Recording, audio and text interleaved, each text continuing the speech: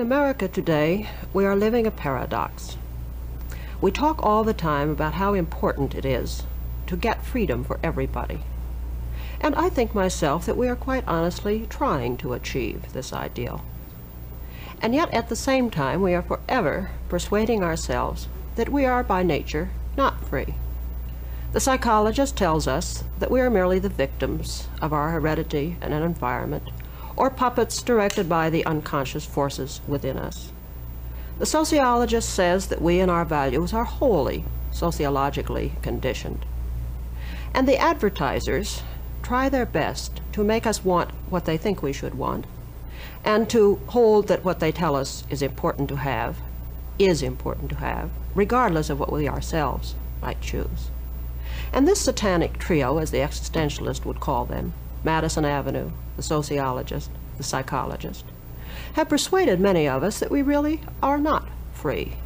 And you will hear people arguing very vehemently that they are not free agents. The existentialists will have none of this. They maintain that man is free and that he ought to be free. But when they say that he is free and ought to be free, they are not uttering a paradox. For they believe that it is only when man recognizes psychologically his freedom that he is in a position to fight for political freedom. And they think that freedom from oppression is something which man ought to have, but that only when he is free will he work for it.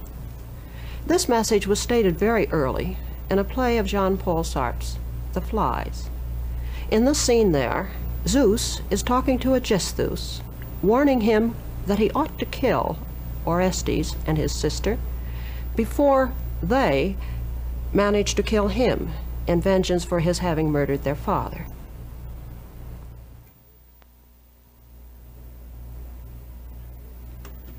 Aegisthus, my creature and my mortal brother, for the sake of the order that we both serve, I ask you, nay, I command you to lay hands on Orestes and his sister. Are they so dangerous? Orestes knows that he is free. He knows he is free. Then to lay hands on him, to put irons on him is not enough. One free man in a city is like a plague spot. You will infect my whole kingdom and bring my work to nothing. Almighty Zeus, why stay your hand? Why not fell him with a thunderbolt? fell him with a thunderbolt.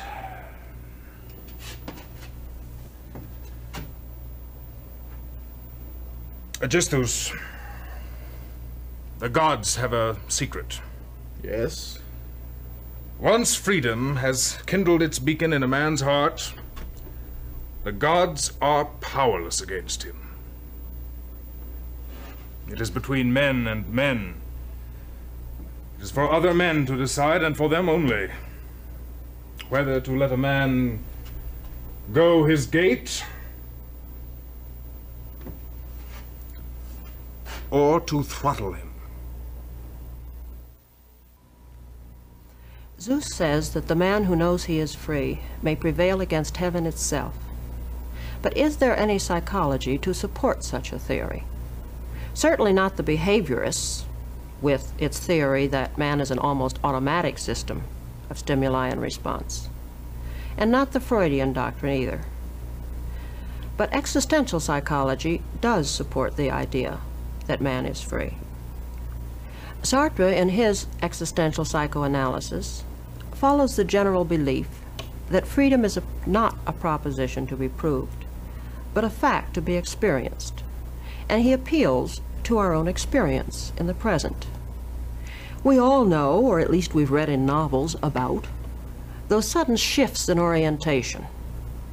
Everything from the kind of thing that happens in the religious conversion to a simple reorientation of our loves and hates, our attitudes toward the people around us, toward our patterns in life. We do, as a matter of actual fact, make a new choice of ourselves from one time to another. Or, to use Sartre again, You may all remember some time when you stood over a precipice, and you remember that vertiginous appeal from the depths below, almost compelling you to throw yourself over. And what's so horrifying about that experience is not the fear of falling, but the realization that nothing prevents you from going over. You could suddenly, despite everything in your past, give in and just go. Naturally, the determinist says that this is all an illusion, that in reality your decision to go over or not is caused. But what about this cause? Does it come from the past? The determinist always views the past as if he were a historian. It's very easy, since things have happened as they did happen, to look back and pick out the connections and the patterns. But this is to evade the real question. For the real question is to whether these patterns, these connections, had to be what they were, or whether they might just as well have been something else. If the determinist is to be absolutely convincing, he must predict the future, and I know of no determinist who has pretended to do so. I think in reality, we have two meanings when we speak of the past, and we don't always keep them separate. First, there is the past of our objective acts and events. And in this sense, the past was what it was, and it will never change. But there is another sense, and that is that the past influences us. And when we say that the past influences us, what we are doing is saying, my past is such and such. We are talking now about the meaning of the past. And this is something which we are constantly remaking every moment of our lives. If at the age of 18 I was guilty of some shameful act, or for that matter, if I had a religious experience, it was what it was. But what is it now? Is it a determining force in my life, or do I regard it all as a momentary aberration? Do I refuse to look at it and involve myself in self-deception? Or do I say, this was the real me, and I'll always be that me? Only I can decide. The same thing happens if we look at environment. We talk about being influenced by our environment. Well, let's take an example.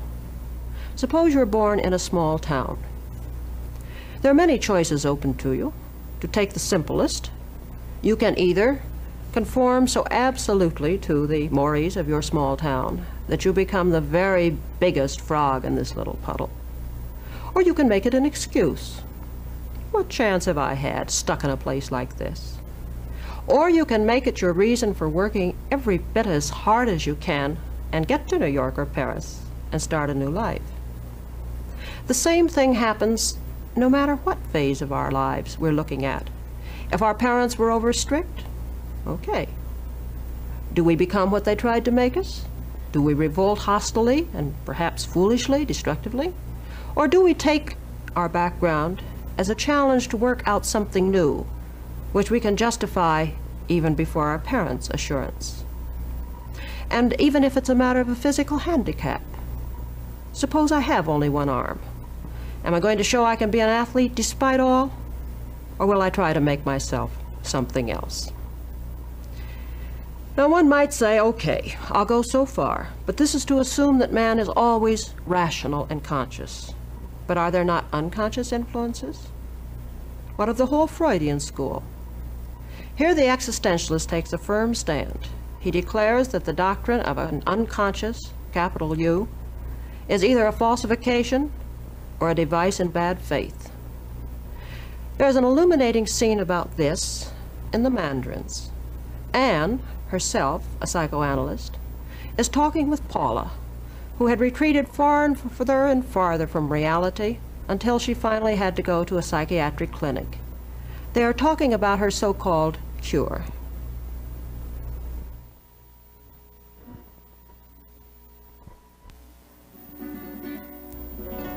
Are you sorry things have changed? That would be saying too much.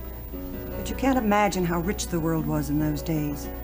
The least little thing had a thousand facets. I would have questioned myself about the red in your dress. That man over there I would have taken to be a dozen different people all at once.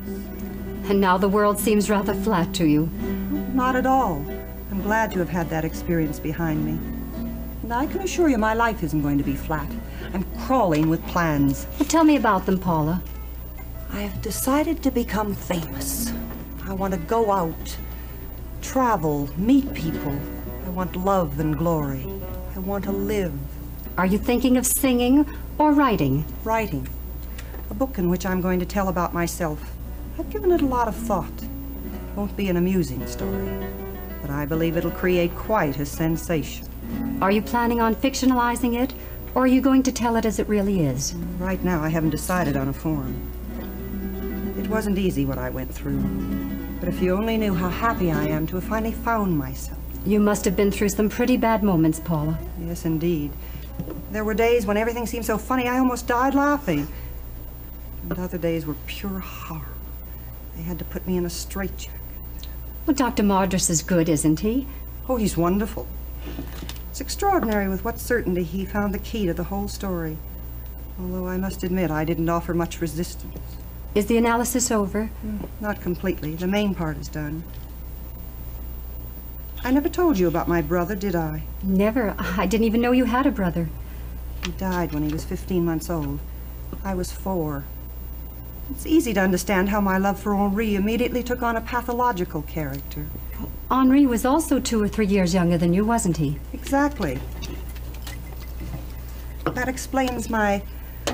Well, my childish jealousy gave rise to a feeling of guilt, which explains my masochism in connection with Henri. I made myself a slave to that man. I gave up all personal success for him. I chose obscurity, dependence. And why? To redeem myself so that through him my dead brother would eventually consent to absolve me. Huh. Well, I think I made a hero of that man.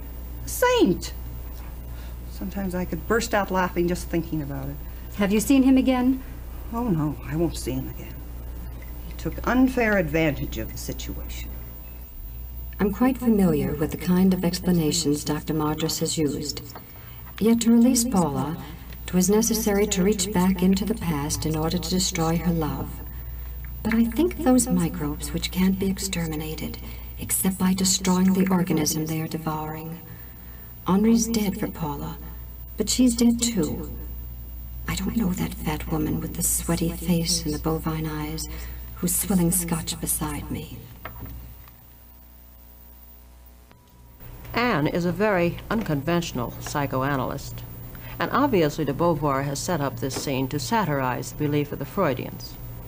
There are many things here which we could comment on. For example, the new, cured, and adjusted Paula.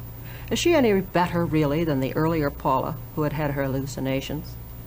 But the chief thing which is involved here is this, the attack on the idea of the Oedipus complex as something which can be used to explain anybody at all, or if not the Oedipus complex, at least childhood experiences which have been forgotten and yet somehow determine us. And always, of course, the determinism is in terms of the unconscious. In Paula's case, we can see how ludicrous it all is. Somehow or other, the idea that this brother, whom she had not thought enough of consciously, even to have mentioned him, has unconsciously been dictating her whole adult life. We somehow don't believe it. But before blaming Paula too much, we should ask ourselves just how much of the modern world does live by the belief in the unconscious. Sometimes I wonder if people could do without the unconscious with any less difficulty than without the concept of God. It's such an alluring thing. It's so easy to say, well, my childhood experiences have undoubtedly made me this way. There's not much I can do about it. I, I don't really understand why I do the strange things that I do, but this is the way people are. There is a real me somewhere there down in the mysterious depths, and I can't find this me, but it's there directing my conduct. It's a very alluring way of avoiding the responsibility of doing something about ourselves and changing. Sartre feels and says that the concept of the unconscious is absolutely incorrect because it escapes the realization of what consciousness itself actually is. The personality is not, he says, as Freud would have it, like a many structured building where we can start at the top and go deeper and deeper down until finally we end up finding real truth somewhere there in the depths of the cellar. Instead, consciousness for the existentialist is simply a process whereby we relate ourselves to the outside world. Immediately, someone may ask, but this is nonsense, isn't it? Uh, how can I possibly say that all of me is conscious when I forget things, when I suddenly have things drawn to my attention I hadn't known before, and new insights, this kind of thing? Well, of course. Sartre allows for levels of awareness. He argues that we do decide which parts of our experience we are going to make into our lives, which parts of our past we are going to remember, and how we are going to remember them, and what significance we're going to attach to them. This is all a matter of reflective consciousness and non reflective consciousness, a matter of whether we concentrate on certain things or deliberately avoid seeing them. But never at any time, he tells us, are we determined by something which we could not, if we tried, grasp and understand. Sartre is naturally not the only existential psychologist. There are many in Europe and in America. Perhaps the movement of existential psychology in America is the most important aspect of existentialism here, right now. The existentialists are not all alike in this field. They are too much individuals. But they do agree that the significant thing about man is not those traits and instincts which he might share with the animals, with the famous white rats of the laboratory, for instance. It's the distinctively human qualities of a being who has in him somewhere a wellspring of freedom to decide what he will make of himself, a being who knows he will die, and who can raise questions about why he is here. All of these existential psychologists feel that there is such a thing as over-adjustment, and that man should find himself not by adjusting to his society, but by learning to value his own free uniqueness.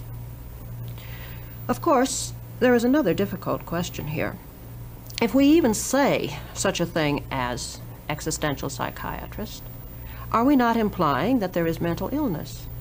And if there's mental illness, we can hardly deny that there is, then how can we speak of freedom?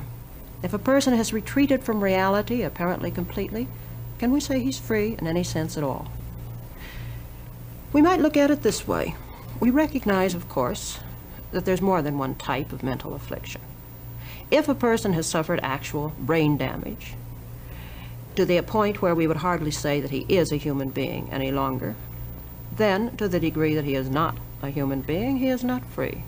But so long as he is human, he is free. But the vast majority of mental illnesses are not caused by brain damage. And here I think we have a parallel with hypnosis. If a person is under hypnosis, he is subject to another's will. But a person can't be hypnotized against his will. And when he's in hypnosis, it is because he has, as it were, willed to put himself under another's will. The existentialists say that in mental retreats also, the patient has willed to escape from reality. Both the quality of what he does and the mere fact that he has escaped depends upon his having refused reality. Sartre has an extremely interesting play that deals with this subject, The Condemned of Altona. Here, as in The Flies, the themes of personal freedom and responsibility and guilt are mingled with the political. Its hero, Franz, had retreated at the end of the war, in Germany because he had practiced torture and he felt that he could no longer justify the torture since his country had been defeated. The end was no longer justifying the means. His sister Leni is encouraging him in his delusion as he sits in his oyster shell filled room, giving messages to the 30th century, the crabs before whom he thinks he is a defense for the 20th century.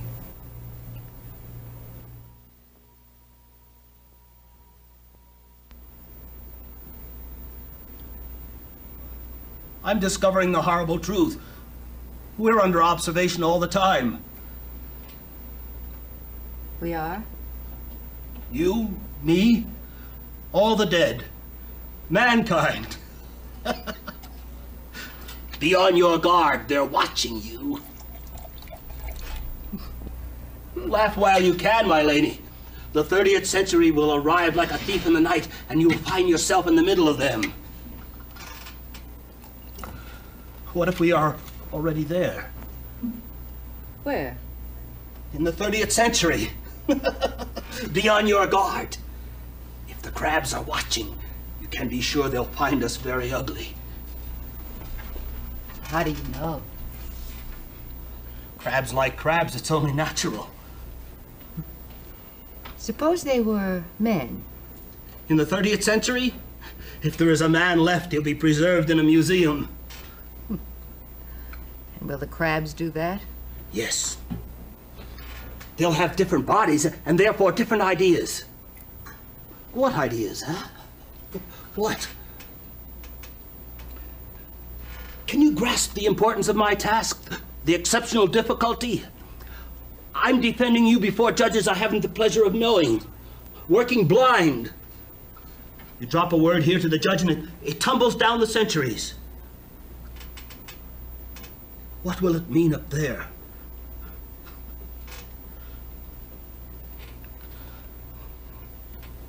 Do you, do you know sometimes I say white when I mean to say black? Good God. They want to sap my morale. Yes, they do. Bad move. My morale is like steel. My poor Franz. He'll do as he likes with you. Who? A representative of the occupation forces.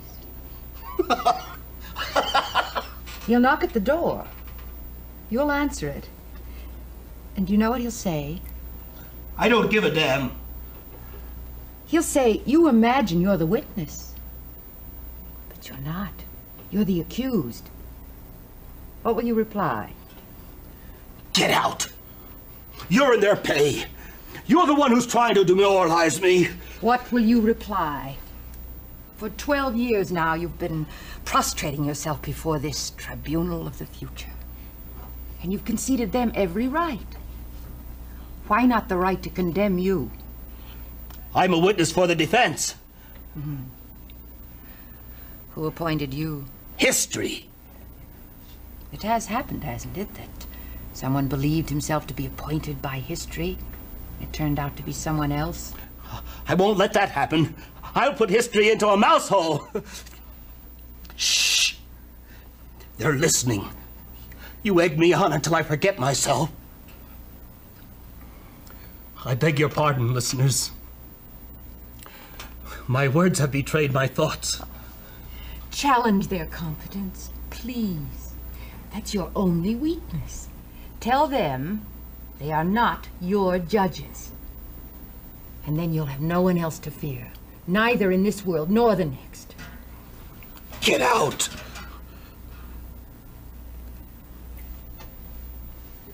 I haven't finished cleaning up. Very well. I'm going to the 30th.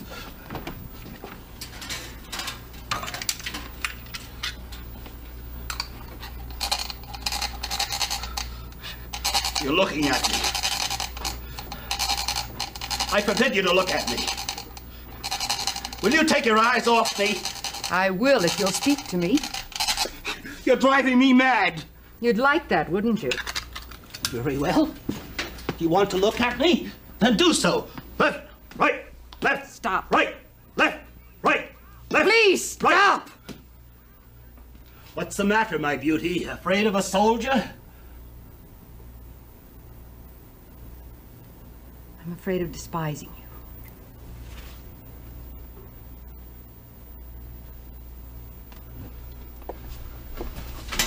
you. Leni, don't leave me alone.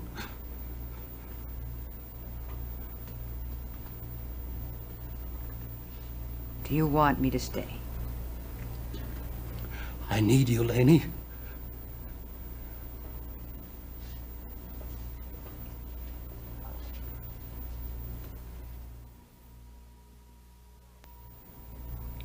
I doubt that it will be the crabs who judge us in the 30th century. But Franz is right in saying that we will be judged by the 30th century and by any century, so long as there are men alive to look upon our actions and to judge them. The psychology of freedom is a harsh, a pitiless, and almost a terrifying psychology, for it gives us absolutely nowhere to turn for excuse. We cannot blame our parents or our society. We cannot even take refuge in the idea that our mental afflictions have caused us to do what we have done, or that being an alcoholic is an excuse for our behavior, or that having any other kind of handicap has made it impossible for us to lead better lives. And this really puts man entirely on his own and alone. But it is a dignity which is involved here. Man has the burden of the whole world on his shoulders. And if he can change, then there is hope. It is determinism which is the hopeless thing, for it says there's no way out. Others have made us what we are, and there's nothing we can do. The philosopher Kant said that our sense of moral duty implies the freedom of our will. I ought means that I can. The existentialists begin with the fact that I can change. But the choice as to whether or not I will change and how I will change rests with me alone. For I, and only I, am responsible for what I have done. I am responsible for what I am and for what I shall freely choose to be.